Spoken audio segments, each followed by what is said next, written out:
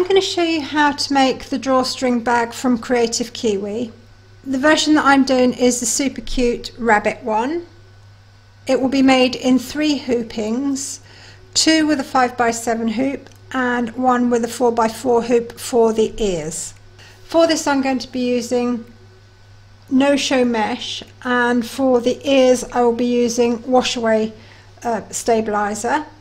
I have a selection of threads, one of them with a matching bobbin for the ears, some masking tape, squizzors, some pins to stabilise my stabiliser in the hoop, my fabrics and batting cut to size. I've also got some cord for the drawstring and also some Solvy topper because I'm using a fake fur called Pony and that will stop the stitching from sinking into the pile. I'm going to start by making the ears for my rabbit. So for this I'm using the 4x4 hoop, a layer of washaway stabilizer and then we're going to hoop this and pin it so that it stays nice and taut in the hoop. So take your pin, lay it on the inside hoop, push it through your stabilizer and then bring it back round and through and that will anchor it. So now you want to pin that on all four sides.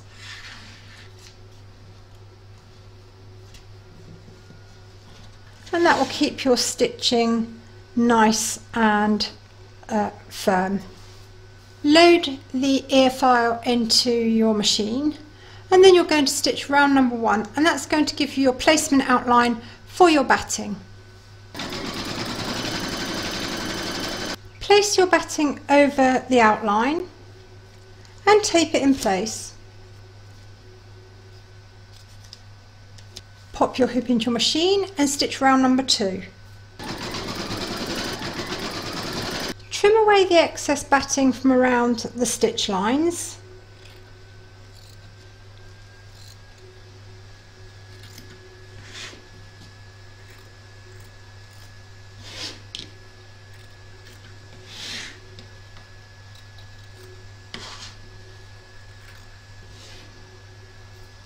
Now going to add your front fabric. I'm using um, a faux fur so it's got a pile. So I will be adding some Solvy which is like a plastic wash away stabilizer over the top. It's the type that we tell you not to use for hooping.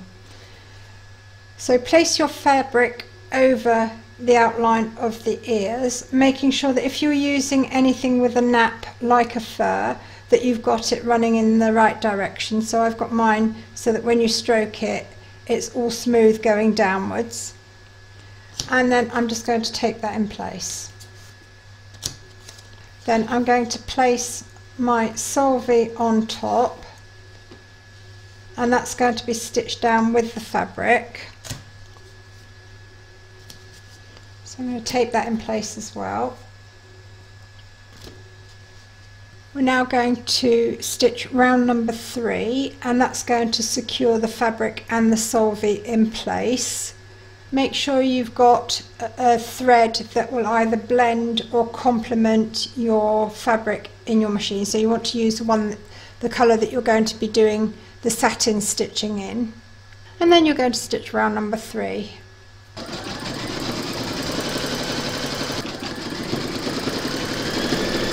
Load your thread colour for the inside of the ears into your machine. I've loaded pink and then you're going to stitch round number four.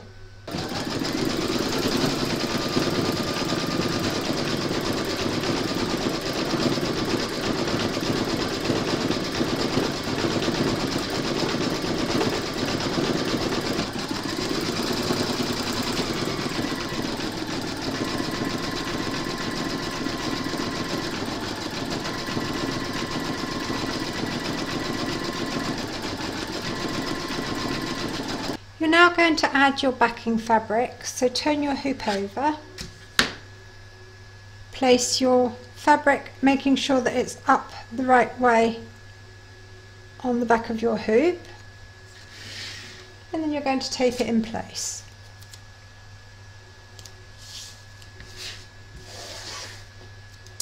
pop your hoop into your machine and stitch round number five. I've loaded my thread that matches my fabric back into my machine for this round.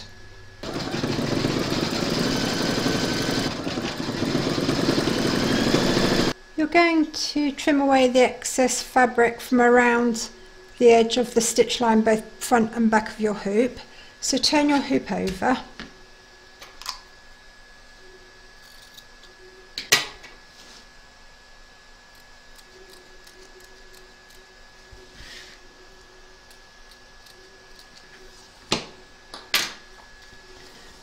For the solvy, we're just going to tear that off and it will just come away from the stitch line.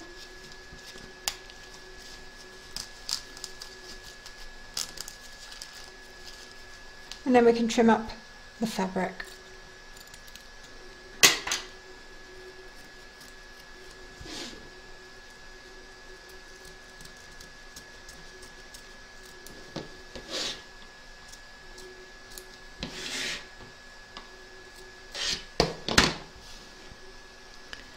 Making sure you've got a matching bobbin and thread loaded into your machine. You're now going to stitch round number six and that's going to do the satin stitching around the uh, border of the ears.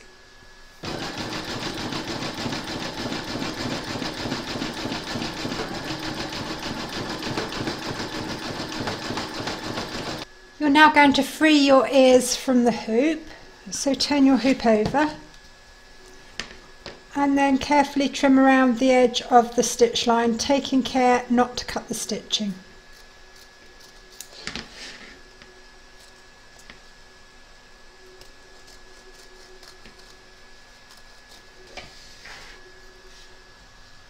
So that's your ears stitched. We're now going to remove the last little bit of um, solvy and it should just pull out. I just ease my scissors underneath, taking care obviously not to cut anything. And then you'll be able to just pull it off.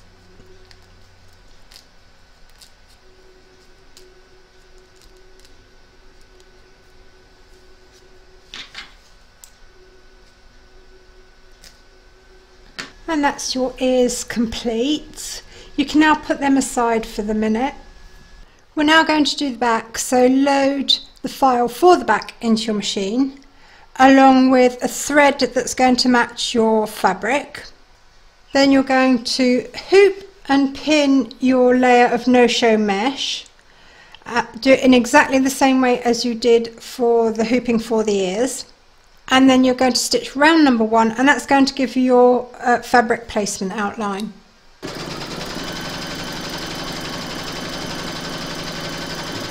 I've put a piece of paper underneath my hoop so that you can see my outline.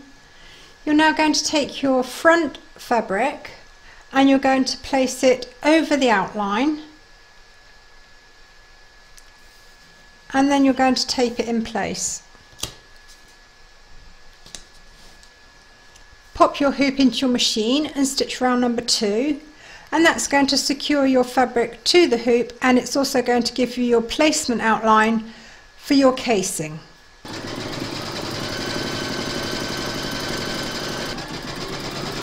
So the casing is going to line up with this line here and you want to place it so that the fold of your fabric, which is this side here, is facing in towards the middle and you want it halfway there so that the, these sides are going to fold inwards. And we're going to open it out. And then we're going to tape it in place. Now going to stitch round number three and that's going to do a line of stitching here to secure it to the hoop. Now that the casing is secured to the hoop we're going to fold the sides in and thoroughly finger press them and then you're going to fold this up. If you find that you get a bulge when you fold this up, put something flat there to fold it over and then pull it out and that will make it lay nice and flat and then you're going to secure it in place. Then you're going to take your backing fabric, or should I say your lining fabric, and you're going to place that face down over the top of your front fabric. Now you're going to secure that in place pop your hoop into your machine and stitch round number four and that's going to secure your lining and the casing to the hoop.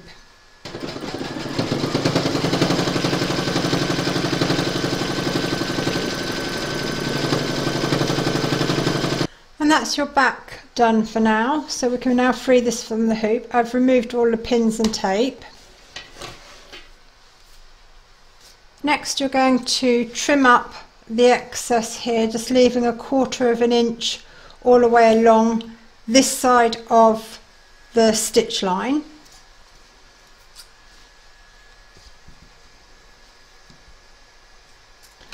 And I'm going to trim down the stabilizer to the same size as my fabric as well.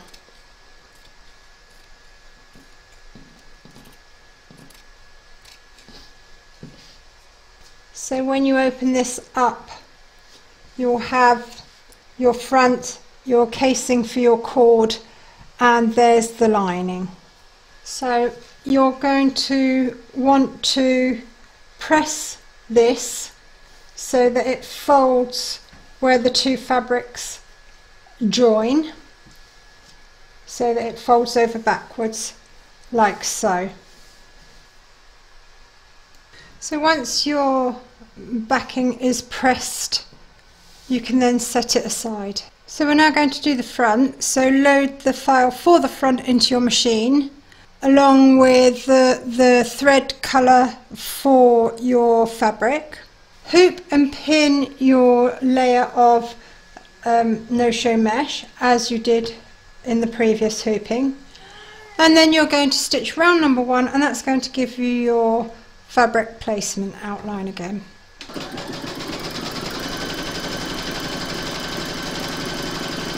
I've slipped a piece of paper under my hoop so that you can see my outline.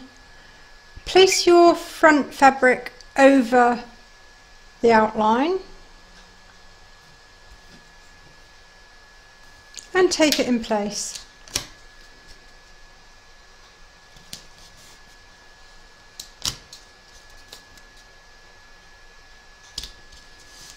pop your hoop into your machine and stitch round number two and that's going to secure it and it's also going to give you your casing placement as well.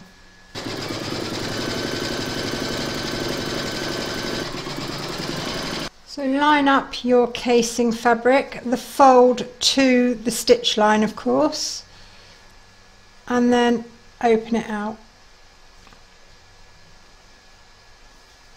And then going to tape it in place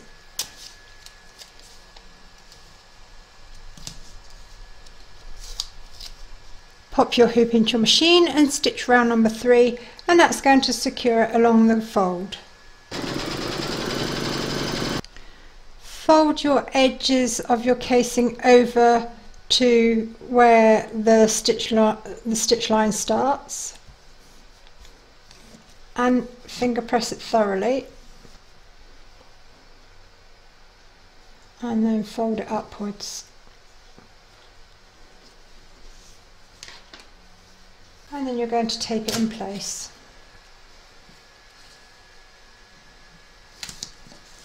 Place your lining fabric face down, so right sides together, over the top, and tape it in place. Pop your hoop into your machine and stitch round number four to secure them.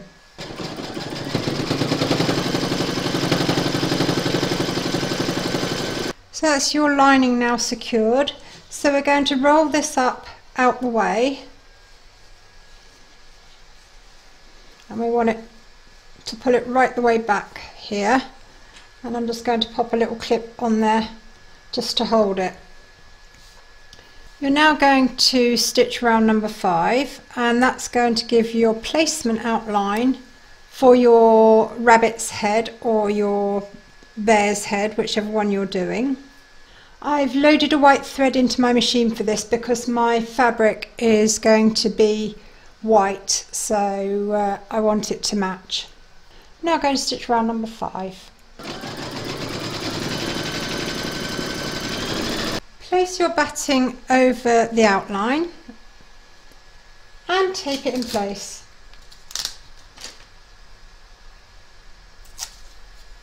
Pop your hoop into your machine and stitch round number six to secure it. Trim away the excess batting from around the stitch line.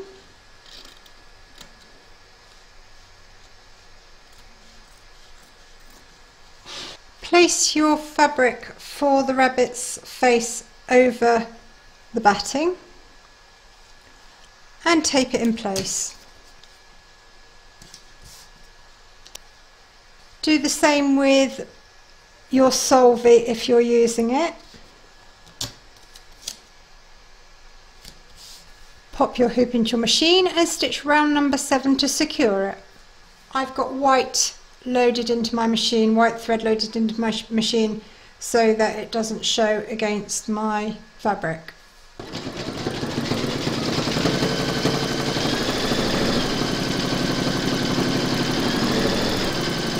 We're now going to trim away the excess fabric from around the edge of the stitch line. Don't worry about cutting the, the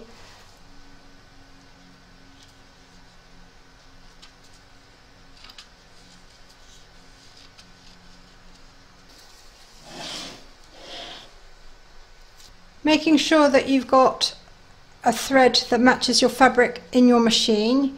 You're now going to stitch round number eight and that's going to zigzag the raw edge and it's going to stop where we're going to add the ears.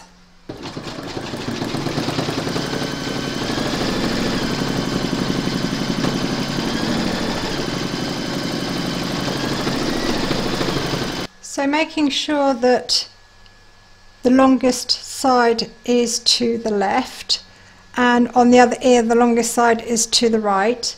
We're now going to align them each side of the um, zigzag stitching.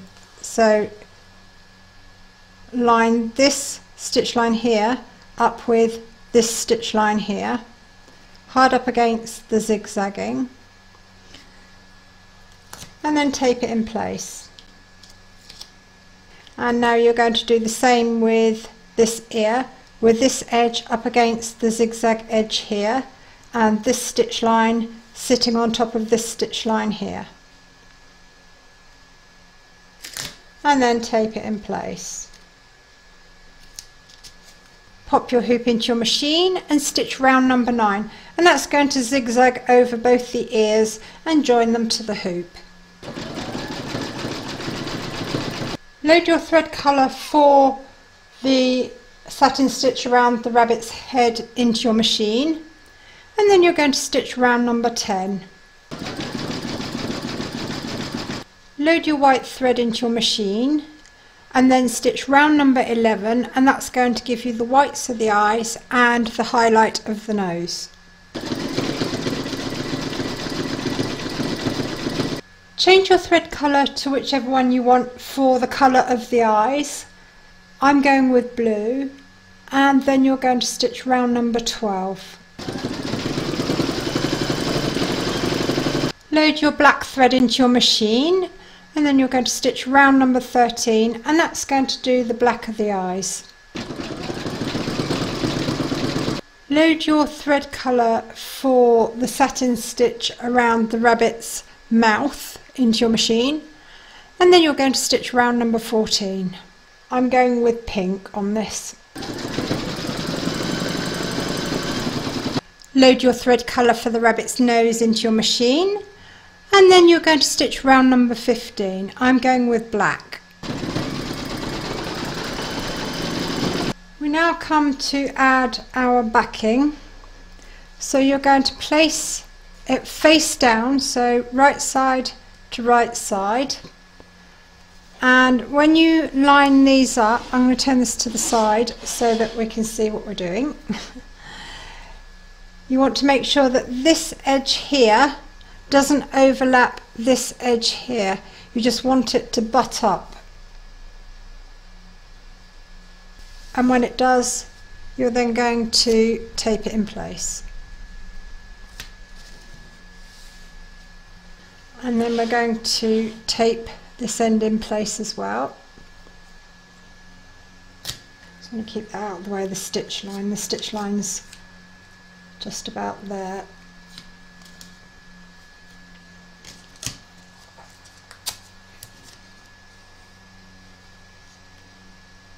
Load your neutral thread colour into your machine and then you're going to stitch round number 16 and that's going to secure your backing to the hoop.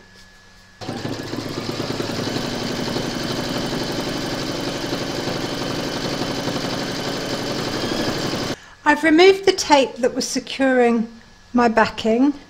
I'm now going to bring down the lining from the front over the top of the back or should I say the lining for the back and then tape it in place.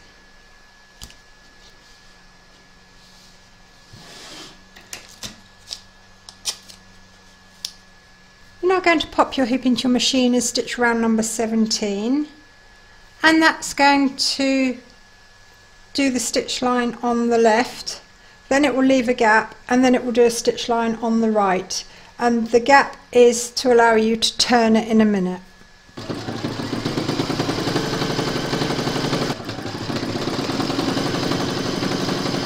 I've removed all the tape and pins from my hoop. We're now going to free this from the hoop. So separate your hoop pieces. There's always one that hides, isn't there? all it remains for us to do now is to trim this up and then turn it. So I've got my sharp fabric scissors and we're going to cut down here and then leaving a quarter of an inch seam allowance all the way around we're going to trim all the way around. I'm just going to chop some of this off so that it doesn't get in the way. Okay.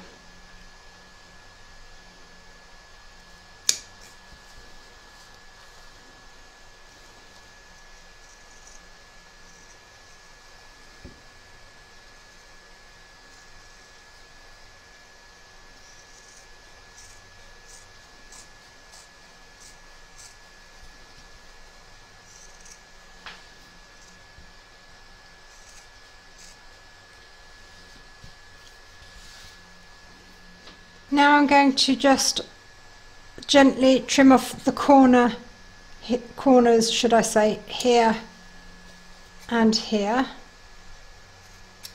just to reduce the bulk and I'm going to snip towards the stitch line on the curves and that's going to help us when we turn it out the right way because the corners will lay nice and flat.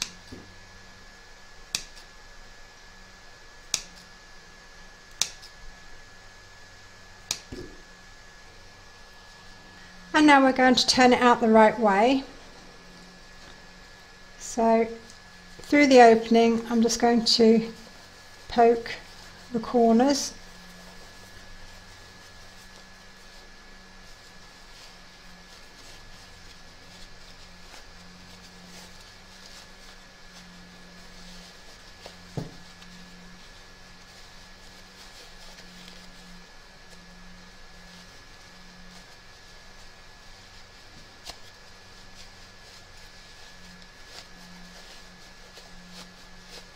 smooth it out a little bit. And then we're going to fold these over. I'm going to press this before I go any further and then we're going to just do a little line of hand stitching to close up the lining here. So I've just given this a light pressing I've started stitching uh, the opening closed and I'm just using whip stitching here. I'm using a slightly darker colour than I normally would in the hope that it shows up on camera.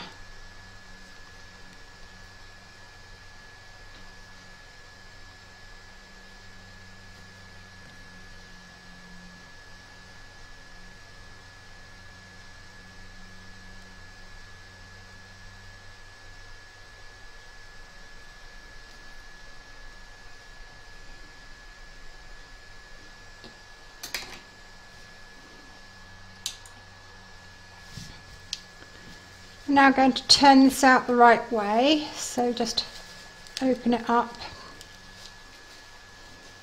and push everything through.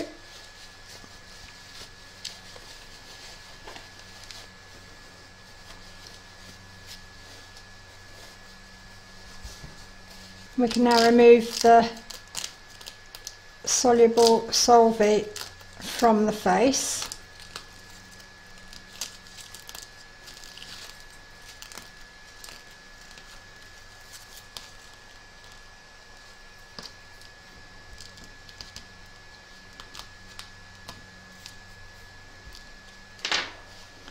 Okay. Now we're going to add the cord to, or the drawstrings should I say, to the bag. I've got two pieces of cord, they're two foot long each, so that's 60 centimetres each. And I've got a metal drinking straw, and I'm going to show you a quick little trick here. You can use a plastic straw or you can indeed use a, um, a needle or safety pin if you want, but I found this way really, really quick. So all I'm going to do is thread my cord, and it's 2 mil cord that I'm using, through the end of my straw, just so that it's about to poke out. And then I'm going to insert that into here and pull it through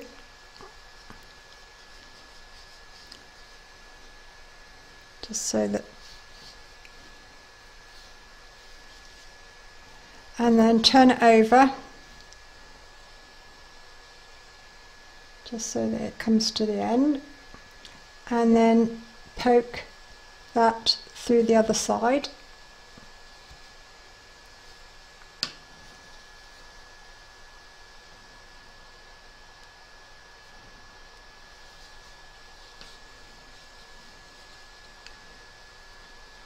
It doesn't matter if your cord comes out.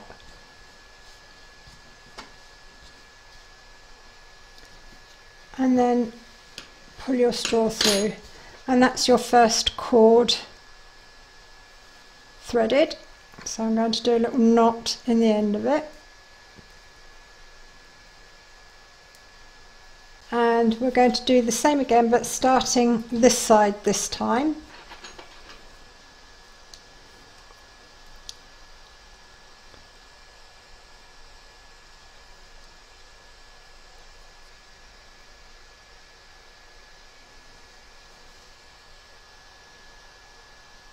then go down.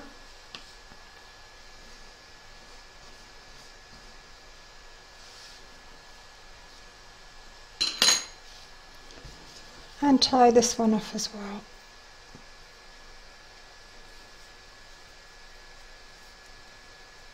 And there is your cute little drawstring purse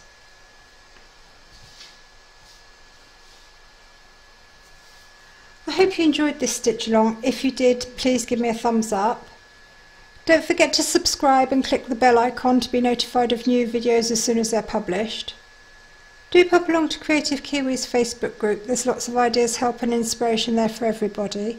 And thank you very much for joining me. There's a link to this design along with lots of other information such as where I get my supplies and some discount codes for you in the video description below.